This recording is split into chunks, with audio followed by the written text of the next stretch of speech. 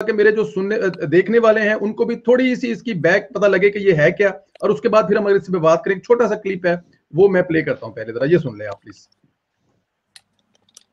किया जिसमें कहा गया है कि नवाज़ शरीफ फैमिली की जो चार अपार्टमेंट्स हैं, जो एवनफील्ड अपार्टमेंट्स के नाम से मशहूर हैं, इन अपार्टमेंट्स को जो ब्रॉडशीट और नेशनल अकाउंटेबिलिटी ब्यूरो का जो केस है, उसके साथ जोड़ा नहीं जा सकता। बहुत ही सिग्निफिकेंट ये ऑर्डर है, और इसके जो लीगल कॉन्सिक्वेंसेज वो फ्यूचर में बहुत ज़्यादा है। अगर हुकूमत पाकिस्तान कभी भी कोई अटैम्प्ट करती है इन फ्लैट्स को जिस तरह की वादा किया गया था कि वो इन फ्लैट्स का कब्जा लेंगे, अगर कभी वो कब्जा लेने की कोशिश करते हैं तो इसके बड़े सीरियस कॉन्सिक्वेंसेज हो सकते हैं। जो ऑर्डर है जिसकी आप कॉपीज देख रहे हैं, जो एक्सक्लूसिवली हम आपको दिखा रहे हैं, इनमें वाज तौर पर जो मास्टर डेविडसन है, उन्होंने जो हाई कोर्ट ऑफ़ जस्टिस की जो फाइनेंशियल डिवीज़न है, उसकी तरफ़ से ये ऑर्डर इशू है, और इसका बड़ा ही दिलचस्प इसका बैकग्राउंड है। अस्सलाम वालेकुम राशिद साहब जी वालेकुम सलाम जी आप परवेज संदेला साहब राशिद हाशमी साहब और अरशद परवेज साहब वालेकुम अस्सलाम भाई खैरियत से हैं ठीक हैं ਜੀ ਅਲਹਮਦੁਲਿਲਾ ਜੀ ਅਲਹਮਦੁਲਿਲਾ ਸਰ ਇਹ ਗਿੱਲੇ ਤੀਤਰ ਤੋਂ ਬਾਅਦ ਤੁਸੀਂ ਇਹ ਕਾਲਾ ਬਟੇਰਾ ਕਿੱਥੋਂ ਲੱਭਿਆ ਜਿਹਦੇ ਆ ਸਾਰੇ ਕੇਸ ਗਿੱਲਾ ਤੀਤਰ ਬੜਾ ਮਸ਼ਹੂਰ ਹੋਇਆ ਯਾਰ ਮੈਂ ਉਹੀ ਤਾਂ ਕਹਿੰਦਾ ਗਿੱਲੇ ਤੀਤਰ ਤੋਂ ਬਾਅਦ ਇਹ ਕਾਲਾ ਬਟੇਰਾ ਜਿਹੜਾ ਪਾਕਿਸਤਾਨ ਦੀ ਮਤਲਬ ਕਿ ਹਰ ਜਗ੍ਹਾ ਤੇ ਬਦਨਾਮੀ ਕਰਾ ਰਿਹਾ अच्छा ये राशिद भाई मैंने ये क्लिप दिखाया है आपने भी देखा है इसमें मुर्तजा साहब जो है इसको रिपोर्ट कर रहे थे। इसकी सारी मतलब कि ये एक डेढ़ मिनट का क्लिप था कि इसमें सारा है क्या? आ, राशिद हाशमी साहब आपसे शुरू कर लें अगर आप हमें थोड़ा सा ब्रीफ करें कि ये मतलब कि मेरे सुनने वाले जो मतलब काफ़ी बड़ी तादाद में अभी से हमने ज्वाइन कर लिया है क्योंकि हमने इसको ऑलरेडी मतलब कि ये केस है इसको हाईलाइट करना भी चाहिए क्योंकि पता नहीं कब से सुन रहे हैं इमरान नियाजी से पहले से सुन रहे हैं कि पता नहीं मियाँ साहब ने जो जौ दादे और दौलतें और हिसाब लगाया हुआ मेरे पास पास अभी एक, इसके बाद एक और क्लिप पड़ा हुआ है, जिसमें इमरान खान साहब के बहुत करीबी हारून रशीद साहब फरमा रहे हैं कि तीन, चार सौ जायदाद लंदन में है। वो इसके बाद मैं आपको दिखाऊँगा, पहले इस पे बात कर कुछ बताएँगे इस फैसले के बारे में, राशिद हाशमी साहब आप? संदेला साहब, बहुत शुक्रिया आपके तवसर से, आपके देखने वालों को, अस्सलाम हमारे जो दिगर मेहमान है अपना राशिद नसरुल्ला साहब हैं, अपना अरशद परवेज साहब हैं, सबको मेरी तरफ़ से बहुत बहुत आदाब और सलाम। सबसे पहले तो ये बात है कि आप सब लोगों को मैं जो मुबारकबाद देता हूँ कि ये जो फैसला आया है, जो लंदन हाई कोर्ट का है, हाई कोर्ट का, इसमें ये शरीफ फैमिली के खिलाफ जो ना एक जो चार्जशीट हम, हुकूमत हमेशा पेश करती थी कि उनकी जो लंदन में प्रॉपर्टीज़ हैं कॉटन मनी से बनी है, ये है, वो है, इसके ऊपर हुकूमत का जो वो दावा बनता है तो ये सारी चीज़ें जो ना वो अल्हम्दुलिल्लाह वो जो ना वो ज़मीन बोस हुए ये सारे दावे। और मियाँ मोहम्मद नवाज़ शरीफ साहब को जो है वो जे आई टी पे जो बनी थी, जो व्हाट्सएप के ग्रुप्स में बना के जे आई टी बनाई गई थी या उस तरह के कोई किसी किस्म के फैसले नहीं, बल्कि लंदन हाई कोर्ट ने क्लीन चिट दिया है। तो वो कहते हैं कि क्या उसे कहते हैं, अल्लाह ताला के जो जो काम है, वो जब फैसले जब अल्लाह ताला पे छोड़े जाते हैं तो उनके रिज़ल्ट ऐसे होते हैं कि वो दुनिया आखिरत में बंदा सुरखरू होता है। तो इसकी मिसाल ये है। और आपने अपने इंट्रो में भी बोला था कि मियाँ साहब ने फरमाया था कि मैं अपना फैसला अल्लाह तला पे छोड़ता हूँ। और मियाँ साहब के साथ साथ मैं मरियम बाजी को भी कोट करूँगा कि उन्होंने कहा था कि मैं सफ़ा पलटते हुए देर नहीं लगती। तो ये देखें जनाब, ये चीज़ें उसी तरफ़ जा रही हैं। आते हैं मौजू की तरफ़, ब्रॉडशीट वर्सेस पाकिस्तान, हुकूमत पाकिस्तान नैब केस। देखिए, इसमें ये बड़ी एक सिग्निफिकेंस जो डेवलपमेंट है कि केस तो बड़ा पुराना है। ठीक है शरफ दौर का केस है कि ये जब उन्होंने 99 में ये दावे किए कि यहाँ पे जितने भी सियासतदान इंक्लूडिंग मियाँ मोहम्मद नवाज़ शरीफ, उनके जो बरून मुल्क सासे हैं, उनको प्रॉप करने के लिए जो ब्रॉडशीट नामी कंपनी को हायर किया गया। वो चलते चलते अब मैं आपको लेके आऊँगा अक्टूबर जो है वो 2019 में। अक्टूबर 2019 में जो कोर्ट है, उसके पास ब्रॉडशीट ने एलसीसी ने जो ना ये 22 मिलियन डॉलर थे तब रकम। उनतीस नहीं थी 22 मिलियन डॉलर के उस वक्त उन्होंने कहा था कि ये हमारे हुकूमत जो दे नहीं रही। तो तब ये शहजाद अकबर साहब, आपको पता, दूसरे दिन उन्होंने जो लंदन, लाहौर को जना वो लाहौर और गुजरा वाला बनाया हुआ था हलवाई की दुकान पे, दादाजी की फातिया वाला साहब था ये सरकारी अखराज टैक्स पेयर की मनी को, ये याशियाँ करते हुए यहाँ पे सेंट्रल लंदन में अल्लाह अल्लाह जो जगहों पर रहते थे तो ये यहाँ पे दूसरे दिन पहुँचे होते थे और यहाँ पे ये याशियाँ करते थे और कभी कहते थे कि सागदार साहब की इतनी प्रॉपर्टीज़ जो ना, वो निकल आई। जब पूछते थे एंकर इनसे कि हाँ जी बताएँ, वो जी अभी कंफर्म जरा ने कंफर्म नहीं किया।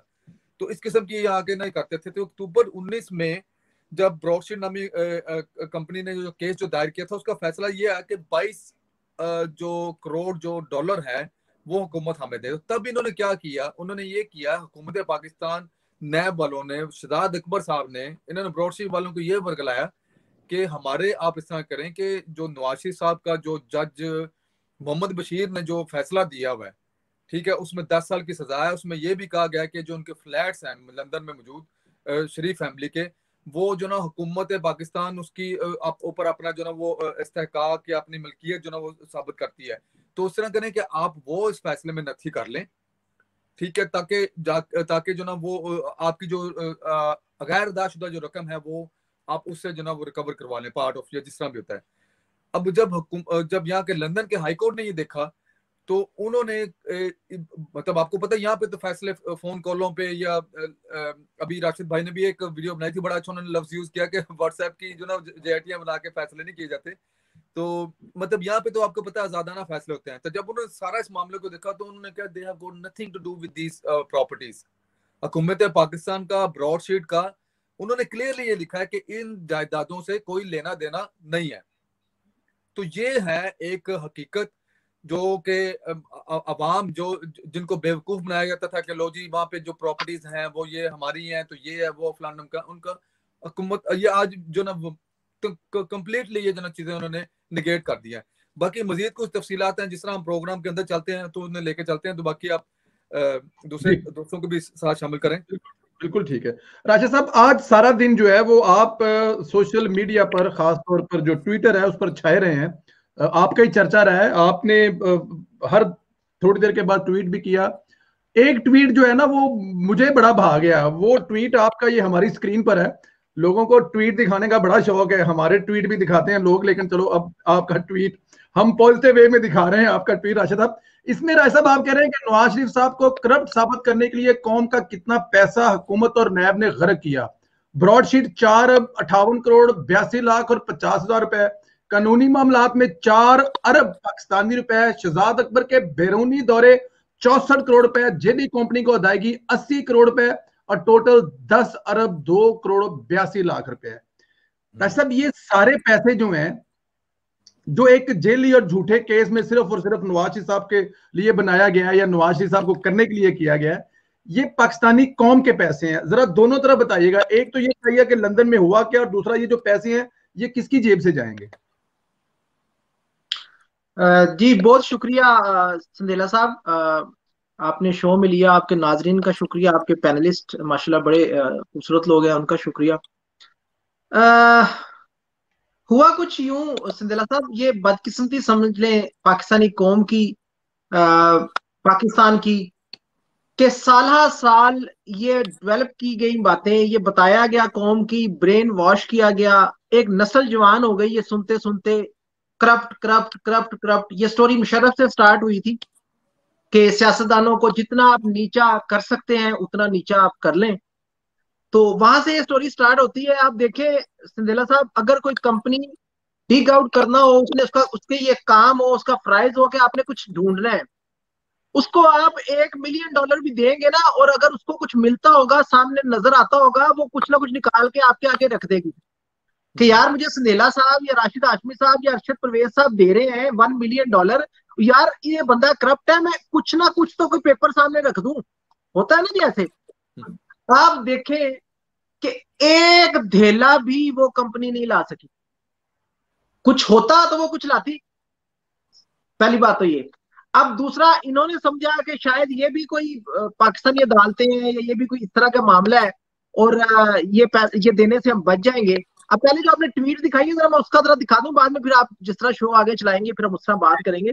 आपने कुछ फिगर दिखाई है ये इसके अंदर। संदेला साहब जरा देखने वाली बात है दो करोड़ छियासी लाख छिहत्तर हज़ार पाँच सौ तिरसठ डॉलर। ये जी ब्रॉडशीट को डायरेक्टली उनके अकाउंट में गया है। हम्म। ये रकम बनती है पाकिस्तानियों के लिए कि चार अरब अठावन करोड़ बयासी लाख पचास हज़ार रुपया। और आपको एक मज़े की बात बताऊँ आप दोस्तों को मालूम होगी कि चार अरब सतावन करोड़ बयासी लाख यूबीएल के अकाउंट में पड़ा था यहाँ बैसी के।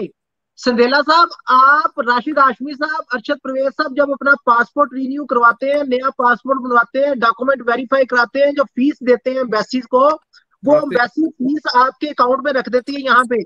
वो चार साढ़े चार अरब पड़ा था हमारा सालों साल से वो ब्रॉडशीट के अकाउंट में चला गया है। मुझे बताएँ कोई पूछने वाला है? और ये कह रहे थे इन्होंने यूबीएल को लेटर लिखा यूबीएल के मैनेजर को कि जी खबरदार, आपने हमारे अकाउंट से अगर पैसा ब्रॉडशीट के अकाउंट में ट्रांसफ़र किया तो आगे से पता है ब्रॉडशीट ने लेटर जो वापस, जो बैंक ने वापस लेटर दिया है पाकिस्तानी हाई कमीशन को। उन्होंने कहा, सर मेरे पास से तो पैसा जा चुका है। There is a court order who are you ये यूबीएल कह रहा है, पाकिस्तानी हाई कमीशन को, सर कि आपका पैसा तो हमने ब्रॉडशीट को ट्रांसफ़र कर दिया क्योंकि हमारे पास कोर्ट ऑर्डर था। अगर हम ना करते तो कंटेप्ट ऑफ़ कोर्ट लग जानी थी। ये हाल है। अच्छा जी दूसरी तरफ़ देखें जो बड़ी इंटरेस्टिंग बात है और बड़ी तशवीशनाक है संदेला साहब इन्होंने जो नैब ने बुकला की खिदमात हासिल की वो वन ऑफ़ द जो टॉप लॉयर है यूके के राशिद हाशमी साहब भी जानते हैं एलन एंड ओवरी वो सबसे महँगे वकील हैं यूके में संदेला साहब। उनको इन्होंने उनकी खिदमात हासिल किए रखी। उससे पहले भी जो वकील थे वो भी महँगे वाले थे। ये तो बिल्कुल इन्होंने तो हद की हुई है। इनके ऊपर दो करोड़ पचास लाख डॉलर, इसमें से सवा करोड़ डॉलर अभी पे करना है। ये बता नहीं रहे नैब वाले, उसका चार, साढ़े चार अरब रुपया ये बनता है। यहाँ पे आपको पता है कोर्ट का केस लड़ना कोई ऐसे कोई लाखों में नहीं होते ये काम। उसकी अभी उसकी अभी साढ़े सात मिलियन डॉलर पेमेंट अभी ड्यू है एलन नौकरी को। वो भी जाएँगे अभी कोर्ट में। वो तो देना ही पड़ेगा, ज़ाहिर है वो उनके साथ था। अच्छा दूसरी इंटरेस्टिंग बात संदेला साहब, जो शहजाद अकबर साहब जैसे राशिद आशमी ने आगे बात की है कि वो जो आके यहाँ लंबी लंबी प्रेस कॉन्फ्रेंसें करते रहे हैं। पाकिस्तानी हाई कमीशन में यहाँ तितर बटेरे चलते रहे हैं खानों में। तीन, इनको पता है आशमी साहब को तीन तीन तीन लोगों का खाना होता रहा है यहाँ, ब्रिटिश पाकिस्तानी हाई कमीशन के अंदर। उसमें दुनिया जहान की कोई कजीन जो थी, वो मिस नहीं थी। वो जो नैब के हुकाम आते रहे उनके लिए रिटिस होटल में कमरे लिए जाते रहे, हयात रिजेंसी में कमरे बुक होते रहे।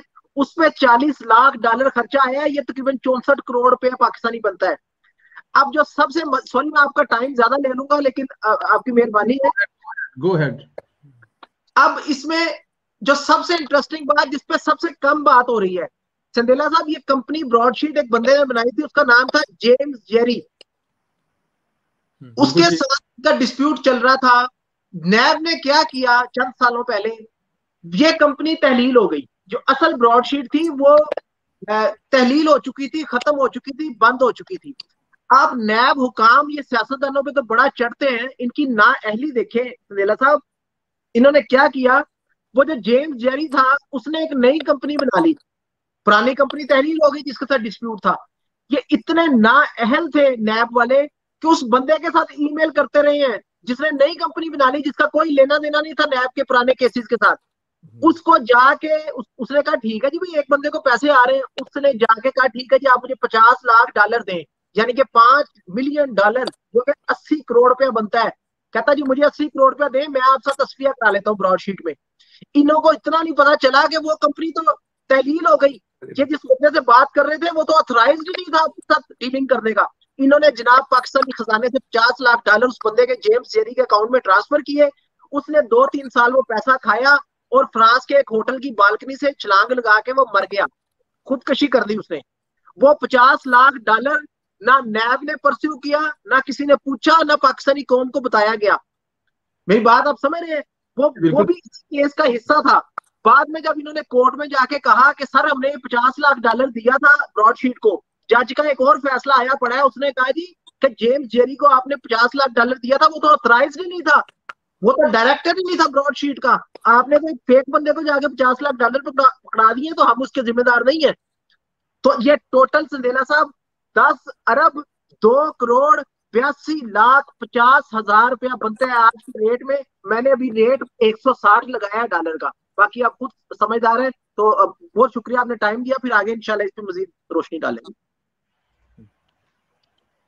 नो वर्ड सर मेरे पास तो आप कोई सवाल ही नहीं रहा। मेरा तो सारा वो क्या उसे कहते हैं, आपने कमाल है यार कमाल है यार कमाल है और ये बात आप कर रहे थे पाकिस्तान की गवर्नमेंट जो है वो हैंडल कर रही थी यहाँ पे किसी एक ऐसे बंदे से जो मिलती जुलती कंपनी बना के बैठा हुआ था ये मेरे पास सारी डिटेल है संदेला साहब में सारी डिटेल है ये ये इन्होंने अपनी तरफ से जिसे कहते हैं ना जब बंदे को कोई खच ਵੱਜ ਜਾਂਦੀ ਹੈ ਕੋਈ ਚਵਲ ਵੱਜ ਜਾਂਦੀ ਹੈ ਕੋਈ ਗਲਤੀ ਹੋ ਜਾਂਦੀ ਹੈ ਬੰਦਾ ਬੱਚੇ ਨਹੀਂ ਲਗੋ ਲੈਂਦੇ ਕਿ ਮਾਮਾ ਡੈਡੀ ਅਸੀਂ ਨਹੀਂ ਕੀਤਾ ਸੀ इन्होंने वैसे छुपाया है पचास लाख डॉलर इन्होंने ट्रांसफर कर दिया उस जेम्स जेरी के अकाउंट में उसने दो ढाई साल टका के वो पैसा खाया, उसके बाद उसने खुदकुशी कर दी। फिर जाके कोर्ट में गए कि हमने पचास लाख डॉलर दिया। सिंधिला साहब, ये राशिद नसरुल्ला साहब ने जो इंकशाफात किए हैं, इनमें रत्ती भर भी किसी किस्म का शाक या शुबे वाली बात नहीं। आप लोगों को याद होगा आज नो अरशद साहब की बारी है, मैं माजरत के साथ सिर्फ़ एक मिनट ये बात करूँगा कि इससे लिंक्ड है कि जब यहाँ पे वाजिद जिया आया था, जो जेआईटी का जो हीरा था, जो सरबरा था, ठीक है उसने यहाँ पे किसको हायर किया था? अपने कज़न की कंपनी फेक सी कंपनी बनवा के। जी जी जी जी जी जी। और सारे वो टैक्स पेयर की मनी थी। इन लोगों ने पाकिस्तान के अवाम के पैसे के साथ वो खिलवाड़ किया जिसकी जो ना तारीख में कोई ऐसी आपको मिसाल नज़र नहीं आती। आप देखेंगे इंशाल्लाह तला आइंदा आने वाले टाइमों में सारे जितने भी ये जो चेहरे थे ना ये बेनकाब होंगे इंशाल्लाह। अर्शद परवेज साहब आप नवाज़ शरीफ साहब के इस जुमले को कि मैं अपना जो केस है अपना जो है वो अल्लाह के हवाले करता हूँ अल्लाह के सपुर्द करता हूँ इस फैसले को जज अरशद मलक वाले फैसले के बाद कैसे देखते हैं आप? बिस्मिल्लाहिर्रहमानिर्रहीम। बहुत शुक्रिया जी। राशिद नसरुल्लाह साहब ने बड़ी ज़बरदस्त डिटेल में जो बयान की है डिटेल, उसमें कोई शक और शुबे की गुंजाइश नहीं है, क्योंकि ये जो बातें कर रहे हैं, वो डॉक्यूमेंटेड कर रहे हैं। वो कोर्ट के ऑर्डर्स बयान कर रहे हैं, वो कंपनीज़ के फिगर्स बयान कर रहे हैं, उसके अंदर कोई शक और शुबा नहीं है। कोई शक नहीं। और जहाँ तक बात रही, कोई शक नहीं है कि रब ताला पर जब इंसान छोड़ देता है और वो मजलूम भी हो और वो हक पर भी हो और इसके बावजूद वो ये देख रहा हो कि मेरे ओपोनेंट इतने ज़ोर आवर हैं कि ना उन्होंने कानून को कुछ छोड़ा है, ना आइन को कुछ छोड़ा है और ना उन्होंने किसी अदब, एहतराम, किसी चीज़ को मलूजे खाते रखा है और वो अपना मामला रब पर छोड़ता है और मुखलिस होकर छोड़ता है। तो फिर हम ये देखते हैं कि रब, वही रब होता है कि दुनिया में से एक तूफ़ान खड़ा कर देता है और उसके लिए कितने वकील खड़े हो जाते हैं और उसके लिए कहाँ कहाँ से गवाहियाँ आ जाती हैं? ये तो आपके बात के, का जवाब रहा, जो हमारी समझ में आ रहा है। लेकिन एक जो बीच में जो हमारे सुन रहे हैं भाई, वो बार बार ये देखते होंगे कि राशिद हाशमी साहब, राशिद नसरुल्ला साहब, परवेज संदीला साहब बार बार एक बात करते हैं, ये पाकिस्तान की अदालतें नहीं है।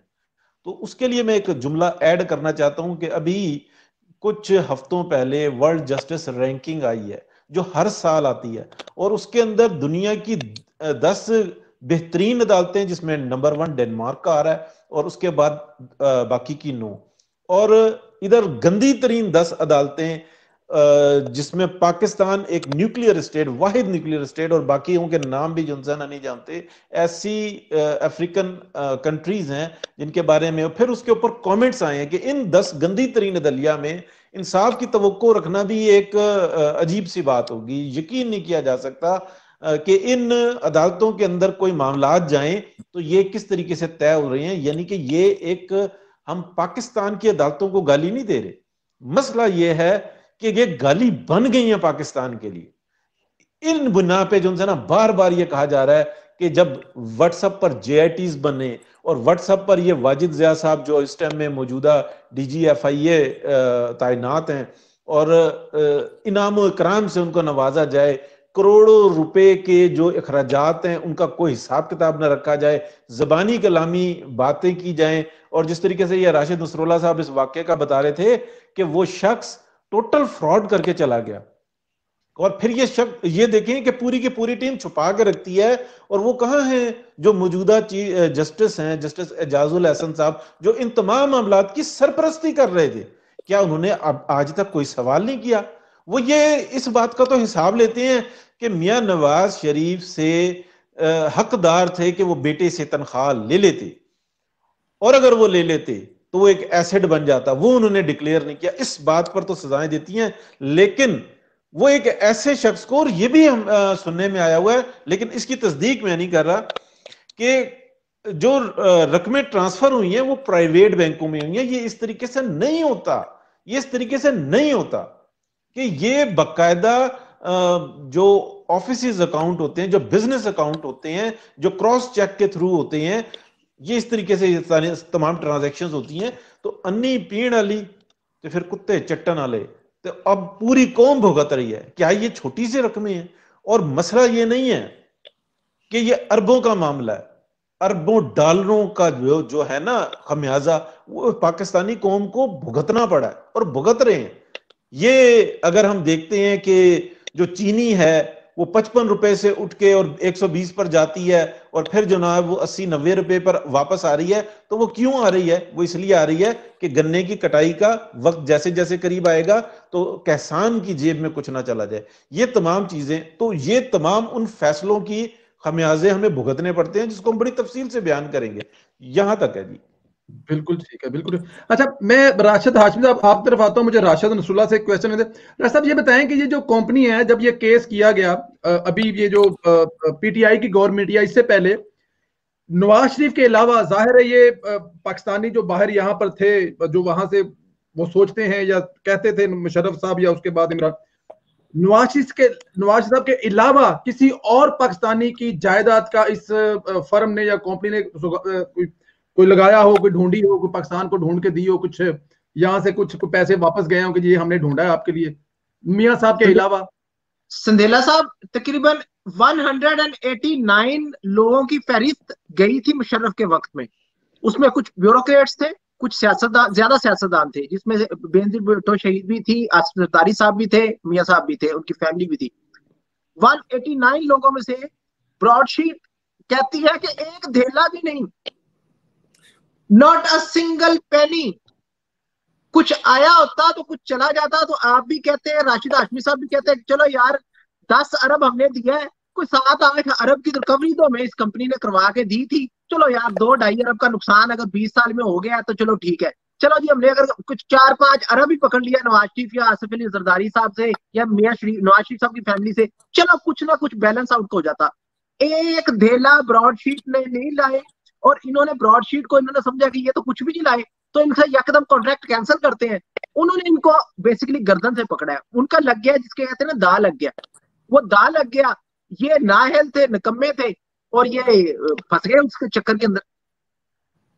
मतलब के गिलास तो की टूटा बारह आने थे कोई भी नहीं मतलब कुछ नहीं। खाया पिया कुछ नहीं ग्लास टूटा बिल्कुल ठीक है बिल्कुल ठीक हो गया।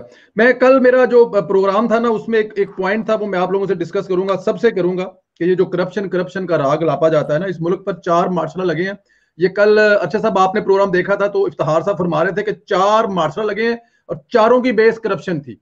और चारों मार्शलों में ऐसा कोई भी कुछ चीज़ तैयार करके वो नहीं गया दस दस साल गा के जिसमें कोई करप्शन के हवाले से कोई खत्म की हो। ये इस पर हम लोग डिस्कस करेंगे। अच्छा हाशमी साहब मुझे ये बताएँ, ये जो लंदन में जज होते हैं इन्हों दी वीडियो शूडियो कोई नहीं होती ग्रो ग्रो के मतलब चक्कर चलाया जा सके मतलब यहाँ पे कोई ऐसी पॉसिबिलिटी नहीं होती। सर, बात ये है कि मुझे वैसे खुशी हो रही है कि राशिद नसरुल्ला साहब जो दादोशुमार पेश कर रहे हैं ना तो कम अज कम मुझे ये खुशी है कि कोई बंदा पढ़ के बात कर रहा है। ठीक है, नहीं तो यहाँ पे